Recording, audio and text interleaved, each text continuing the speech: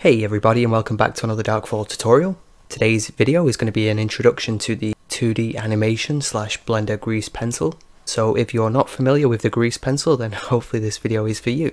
So the first thing we can do is go ahead and load up a new file. We can go ahead and select 2D animation and this will just give us a blank template we can work from. So again if this is the first time that you're seeing all this it might be a little bit overwhelming but as with Blender things become easier as you use them. So first let's go ahead and take a look at what we have in front of us. So this is our viewport or our canvas. We can scroll in and out using the mouse wheel. We can also use these widget tools over here, so scroll in and out, pan around. If you don't want to see these, if these are in the way, just go over here and turn them off. It's entirely up to you if you want to use them. So over here on the left we have the tool panel and we have a bunch of different tools that we can use. Right now we're using the draw tool and within this draw tool we have a whole bunch of different brushes that we can use and we'll take a look at those in a second. But we have a bunch of other tools as well, like the fill tool, the eraser, the tint tool, and a bunch more. And they're all pretty similar to photo editing softwares that you may have used in the past. Now for the brushes, we have a couple of different ways we can access them. We have this top bar up here. So we can go over here and change your brush. Change the material, the colour, the size, the strength. Uh, we also have the advanced section, so we can play around with samples. This will help smooth out your lines. You could also go to stroke, then increase smooth, iteration, subdivision, a whole bunch more. For example, we could enable randomize, and then we can randomize any of these values here. So if we had color, or we can randomize the radius, the strength, we increase this jitter amount. Uh, we can get this jittery sort of line. So again, playing around with the different values will give you loads of different effects, uh, depending on what you're going for. So yeah, this is one of the places where you can change your brush settings.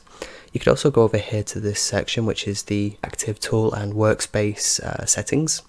So you can go through, change your brush, uh, do all the things you did before. And if you're using a pen and tablet, you want to make sure that you enable pressure for either the radius and or the strength.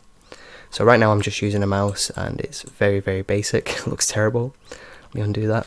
But if I start using a pen and tablet, we can see we get these nice smoother lines. Again, depending on how hard you press, you can get thicker lines. And people generally ask me, is it worth buying a tablet? And I think it definitely is if you're doing a lot of uh, 2D animation or you know grease pencil work. It definitely makes your job a lot easier when you're trying to create nice smooth lines. But at the same time, you don't necessarily need it. Change this from draw to edit mode. So I'm going to click and select, and then press G, and I can move it around. And of course, being Blender, we can scale things by pressing S, R to rotate, and so on. Now, instead of just selecting a whole object, we can actually change the selection mode to the points. So I'll go over here, select this, and now select one of these points, and you can move this around. Maybe turn on proportional editing by pressing O, select one of these points, and maybe rotate if you didn't want it to rotate everything and you just want to rotate or manipulate this stroke, all you need to do is go over to your proportional editing settings and then click this here and then just choose connected only. And then now we do it, it'll just affect this stroke on its own. So again, you can jump into edit mode. Same thing with sculpt mode, actually. There's a bunch of tools that we can use to smooth things out, uh, add some thickness, um, uh, randomize. And again, depending on what you're going for, there's a whole bunch of tools that you can use. So yeah, when it comes down to a, a tablet, it's not necessarily needed, but, but it does make your job a lot easier. And the tablet I'm using is a Wacom Intuos, and it wasn't too expensive. I did use a cheaper tablet in the past, which was okay, still worked with Blender, but this one is a big improvement. There'll be a link in the description if you want to check out the tablet I've got. Now let's just delete this. I'm going to go to the eraser tool if we try to erase this, it kind of works like um, an eraser in the real world. But that would take too long to erase all of this. So what I'm going to do is just change the eraser type. So let's go over here. This is normally where your brush type would be. And each one of these are useful in different situations, but the one I want right now is erase stroke. So anything that comes into contact with this eraser will get deleted.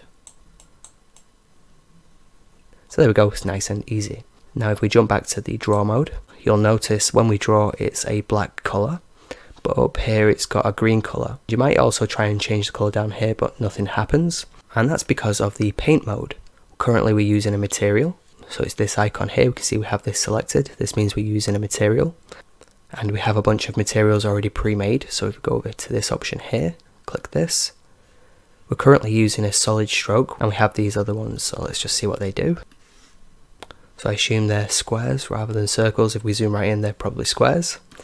This one is a solid fill, so we can draw a shape and it will fill a colour to that shape. And we also have a dots stroke, which will be the same as this solid stroke, except dots. So they're the basic materials that we get given. We can actually create more if we go to the materials tab down here. So these are the materials that we currently have. We can actually create a new one. Let's go ahead and click new. And if you want, go ahead and rename this to something that's more appropriate to what you're working with. I'm going to go to surface and we can see currently it's set to stroke. So basically we have a stroke. We have some options we can change if we wanted to, but I'm going to leave this as it is. And if we enable fill, and then let's just change the color, or something like that. And now we should have a black outline with a green fill. And we do. So again, we can create a whole bunch of materials uh, for characters or whatever we're working on. And one more thing, instead of going over here to switch between them, you can use the shortcut, which is U, and this will bring up the change active material menu and go ahead and change it. So let me just delete all this now, it's getting in the way. So that's it for the materials. If you just wanted to change the color without setting up a material, you could just go over here to the vertex color, select this icon, then choose a different color that you want, and there you go. Again, there's a lot more things we could go into, um, maybe in a different video if you guys are interested. I also did a quick video showing how to import Blender's free brush pack. If you want to check that out, there's a link over here. So now let's check out the dope sheet window. We just drag this and bring this up. So this dope sheet is essentially uh, a layer management system. So if you use Photoshop or other programs where it uses layers, this is exactly the same thing. So right now we just have two layers. So we can see this is the first one and there's nothing on the second one. If we wanted to put something on this layer, we could select it. Let's just change the color and start to draw. Or if you want to use the shortcut, press Y and it'll bring up the change active layer. So we have loads of different options. Um, we can check out the opacity. It's also over here as well. Uh, we can use a mask, which I'll show you in a second. Uh, we can enable onion skinning, so if we have an animation, we will be able to see the lines on the next frame. We can also mute the visibility of the layer.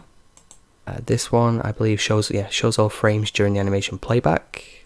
Uh, we can also lock it into place so we can't move them around. Uh, so pretty much basic tools. But over here we have some more. We can change the blend type, but we can change this to anything you want. Uh, depending on what you use, you'll have different effects.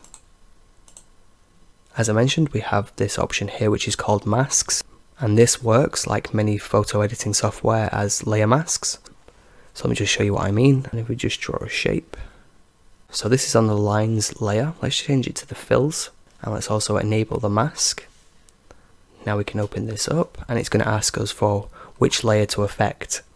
So if we click this plus button here, there's only one layer, but if you had a whole bunch of different layers, just choose the layer that you want to affect. Let's go ahead and change the color. And one more thing we need to do is bring this layer up. So I'm going to just click this button here. So now when we draw, it will only affect the original lines. As you can see, we can color this in. Uh, this probably will be more helpful if we go back to the lines layer. Let's change this to solid fill. Let's change the color to black. And then let's just draw a shape. Then if we go back to the solid stroke, change it back to fills, and if you want, change the colour. So again, when we draw outside this area, nothing will happen.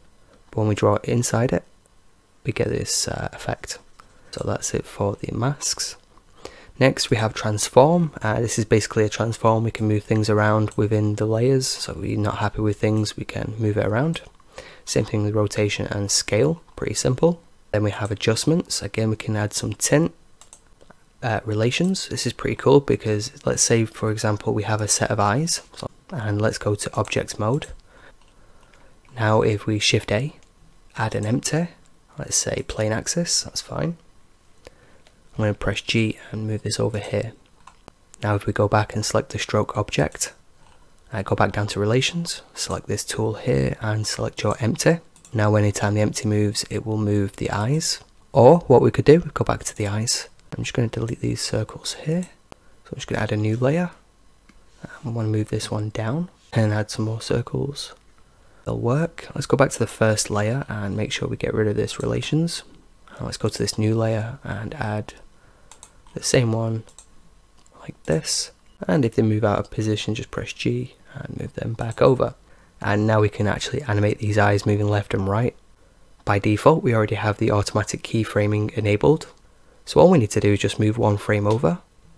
So now you can see we're on frame two. And I did that by using the right arrow key on the keyboard. If you want to go frame by frame, that's fine. Just press G and move it over a little bit. Then press the right arrow on the keyboard and press G and just keep doing that. But instead, what I'm going to do is undo this, Control Z. So instead of going frame by frame, I'm going to maybe jump eight frames forward. Then press G and I'm going to move this over on the X. Now when we go back, we can see it's animated.